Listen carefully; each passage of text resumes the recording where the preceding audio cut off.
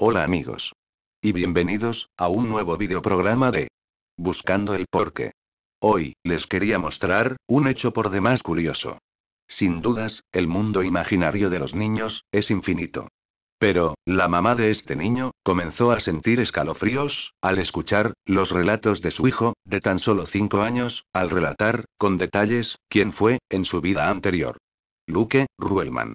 Es un niño, de 5 años de edad, que vive en Cincinnati, Estados Unidos. Y, dice recordar perfectamente, quién fue en su vida anterior. Una mujer de color, que había fallecido, en el año 1993, en un incendio. Mi pelo era oscuro, y usaba pendientes, como los tuyos, mamá. Morí en un incendio, fui al cielo, y vi a Dios. Él me hizo regresar. Cuando desperté, era un bebé, y tú me llamaste Luke.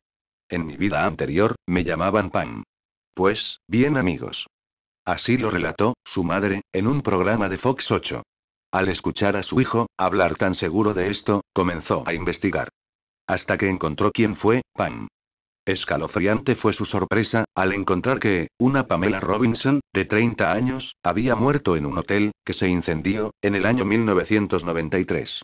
Pero, si esto les parece extraño, lo más extraño ocurrió, cuando en un programa de televisión, le enseñaron al niño, fotografías, de varias mujeres similares. ¿Y? ¿Qué, creen amigos? El niño, señaló, sin dudar, a Pamela Robinson. Esa, era yo, dijo Luke. Pues, bien amigos. Un hecho, por demás curioso. Pero, de los cuales, hay muchos similares, que al ser investigados, se encontraron con datos, como los que encontró la mamá de este niño. Si desean conocer más casos como estos, háganmelo saber, en la caja de comentarios. Sin más.